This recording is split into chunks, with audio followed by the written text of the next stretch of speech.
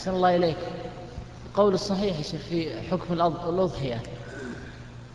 الذي يظهر لي أن أن الأضحية ليست بواجبة ولكنها سنة مؤكدة يكره القادر تركها.